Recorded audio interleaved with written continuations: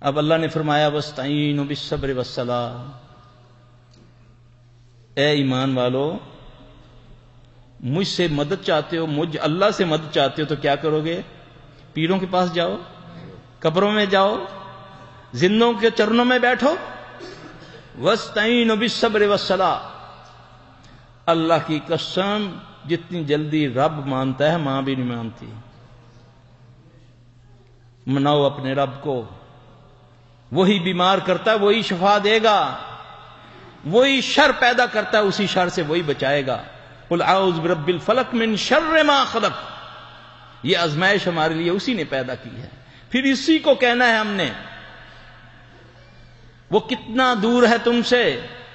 اتنے تو تم بھی اپنے قریب نہیں ہو، جتنا میرا رب ہے تمہارے قریب۔ نخن اقرب الیہ بن حبل الورید۔ وہ تو تمہاری رگے حیات کے قریب ہے۔ تم ایک بار کہو، یا رب وہ دس بار کہتا ہے، یا عبدی، اس رب کی بات کر رہا ہوں جو ساری کائنات کی مخلوق بے یک وقت اس کو پکارے، وہ سب کی پکار سنتا ہے اور اس کو عطا کرتا ہے۔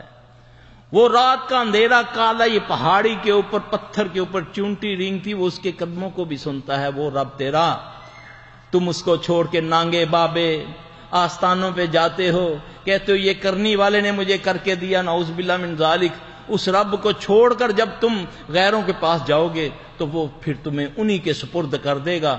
پھر تم جاؤ، چاہے گھروں میں جاؤ تو چاہے درختوں پہ چڑھو، چاہے پہاڑوں میں جاؤ۔ ایک اللہ کا لڑ پکڑ لو اور نبی صلی اللہ علیہ وسلم کے طریقوں کو اپنا لو۔ چھوڑ دو سارے طریقے۔ ان شاء اللہ اللہ تبارک و تعالیٰ تمہاری جسمانی بیماریوں سے بھی شفا دے گا۔ روحانی اندر کی جو بیماریاں اس کی بھی ظاہری اور باطنی ہر بیماری سے تمہیں شفا دے گا۔